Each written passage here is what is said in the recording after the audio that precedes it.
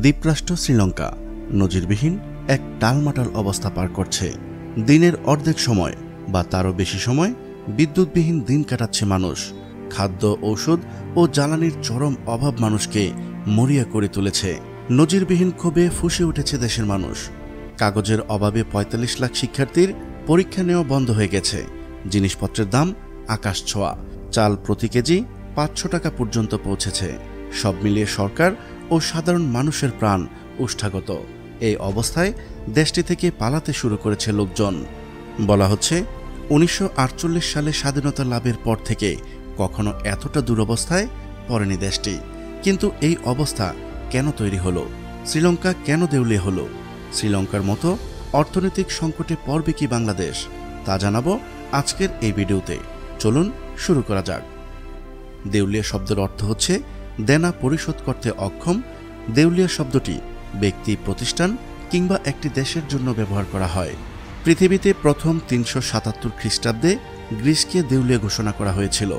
সম্প্রতি চার এপ্রিল লেবাননের টেলিভিশন সংবাদ মাধ্যম আল জাদিদ চ্যানেলকে দেওয়া এক সাক্ষাৎকারে মধ্যপ্রাচ্যের দেশ লেবাননকে দেউলিয়া রাষ্ট্র ঘোষণা করেন দেশটির উপপ্রধানমন্ত্রী সাদে আল শামী দীর্ঘদিন ধরে দেশটিতে রাজনৈতিক ও অর্থনৈতিক অস্থিতিশীলতা বিদ্যমান ছিল। এর জের ধরেই দেশটিকে দেউলিয়া ঘোষণা করা হয়। লেবাননের অর্থনীতির পতন শুরু হয় দুই হাজার উনিশ সালের অক্টোবর। দেশটির গৃহযুদ্ধের অবসানের পর থেকে। গৃহযুদ্ধে বিবাদমান পক্ষসমূহের নেতারা দেশটির রাজনৈতিক নেতা হিসেবে আবির্ভূত হন এবং নিজেদের ক্ষমতা বাড়ানোর প্রতিযোগিতায় নামেন। ফলে গৃহযুদ্ধ শেষ হলেও রাজনীতি নিয়ে নতুন করে আরেক যুদ্ধ শুরু হয় দেশটিতে। কখন একটি দেশ দেউলিয়া হয়? কর্পোরেট ফাইন্যান্স ইনস্টিটিউটের মতে, একটি রাষ্ট্র তখনই দেউলিয়া হয়ে যায় যখন তার সরকার নির্ধারিত সময়ে ঋণ ও অন্যান্য প্রদেয় বিল পরিশোধে ব্যর্থ হয়। সাধারণত কোনো দেশে সামরিক অভ্যুত্থান কিংবা বিপ্লব সংগঠিত হলে রাষ্ট্র দেউলিয়া হয়ে যেতে পারে। রাষ্ট্রীয় দেউলিয়াত্বের আরেক কারণ হতে পারে অসচ্ছলতা। পর্যাপ্ত আর্থিক সচ্ছলতার অভাবে ঋণ খেলাপি হয়ে গেলে একটি রাষ্ট্র দেউলিয়া হয়ে যেতে পারে। এছাড়াও আরও বেশ কিছু কারণ রয়েছে। যেমন ঋণের পরিমাণ বাড়তে থাকা, ঋণ পরিশোধে খরচ সাশ্রয় না করার পদক্ষেপ না নেওয়া ক্রমবর্ধমান বেকারত্ব এবং আর্থিক প্রতিষ্ঠানের উপর সরকারের কৃতিত্ব বৃদ্ধি ইত্যাদি। যখন কোনো দেশ দেউলিয়া হয়, তখন কি ঘটে? যখন একটি দেশ দেউলিয়া হয়ে যায়, তখন দেশটিতে দেখা দেয় তীব্র বেকারত্ব, খাদ্য সংকট, রাষ্ট্রের কর্মকর্তা কর্মচারীদের বেতন ভাতা দেওয়ার মতো অর্থ তাদের ভাণ্ডারে থাকে না। বিদেশে দেশটির বিরাট অঙ্কের ঋণ থাকলে সেই ঋণের জন্য প্রতি মাসে যেভাবে সুদ পরিশোধ করতে হতো, সেটি তারা করতে পারে না। এছাড়া জাতীয় জীবনের কল্যাণের জন্য যে সকল অর্থবিত্ত দরকার, সেটিও থাকে না দেশটির কোষাগারে। ক্রমবর্ধমান মূল্যস্ফীতি ও খাদ্য সংকটে জনজীবন দুর্বিষহ হয়ে ওঠে। প্রতিনিয়তই লাফিয়ে লাফিয়ে বাড়তে থাকে নিত্য প্রয়োজনীয় পণ্যের দাম। যেসব দেশ আগে দেউলিয়া হয়েছিল, শুধু লেবানন কিংবা শ্রীলঙ্কাকে ঘিরে রাষ্ট্রের দেউলিয়াত্বের বিষয়টি সামনে এসেছে নতুন করে তা কিন্তু নয়। মহামারী করোনার থাবায় কুলোতে না পেরে দুই হাজার একুশ সালে রাষ্ট্রের দেউলিয়াত্ব ঘোষণা করে ব্রাজিল। ইউরোপের প্রায় অর্ধেক দেশ, আফ্রিকার চল্লিশ শতাংশ দেশ, এশিয়ার প্রায় তিরিশ ভাগ দেশ নানা সময়ে দেউলিয়া হয়েছে গত দুই দশকে। এই তালিকায় কিন্তু যুক্তরাষ্ট্র, জার্মানি, জাপান যুক্তরাজ্য এবং চীনও আছে। তবে এখন পর্যন্ত সবচেয়ে বেশিবার দেউলিয়া হয়েছে ইকুয়েডর। মোট দশবার দেশটি নিজেদের দেউলিয়া ঘোষণা করেছে।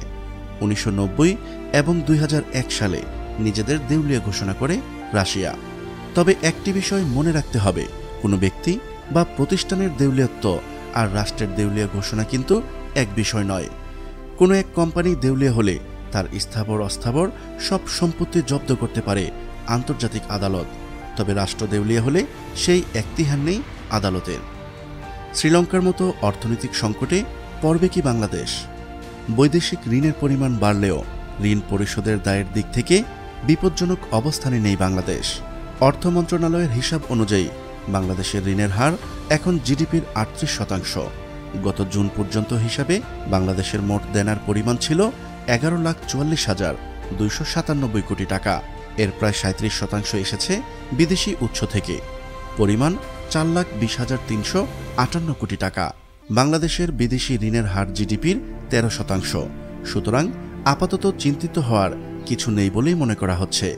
কেননা আইএমএফের হিসাবে এই হার পঞ্চান্ন শতাংশের বেশি হলেই বিপদ। তবে শ্রীলঙ্কার উদাহরণ থেকে এখন থেকেই কয়েকটি ক্ষেত্রে বাংলাদেশকে সতর্ক হতে হবে বলে মনে করছেন বিশেষজ্ঞরা। বাংলাদেশ এমন একটি দেশ, যে দেশ কোনোদিন ঋণ পরিশোধের ডিফল্টার হয়নি এবং ইনশাল্লাহ হবেও না। আমাদের অর্থনীতির ভিত্তি অনেক মজবুত। প্রিয় দর্শক, আজ এই পর্যন্তই। শুরু থেকে শেষ পর্যন্ত চেষ্টা করেছি। একটি দেশ কেন দেউলিয়া হয় তার সঠিক তথ্য উপস্থাপন করতে। কোথাও কোনো তথ্যগত ভুল কিংবা আপনার পরামর্শ থেকে থাকলে তা কমেন্ট করে জানাতে পারেন। নিশ্চয়ই আবারও দেখা হবে। নতুন কোনো বিষয় নিয়ে ততদিন পর্যন্ত ভালো থাকুন, সুস্থ থাকুন।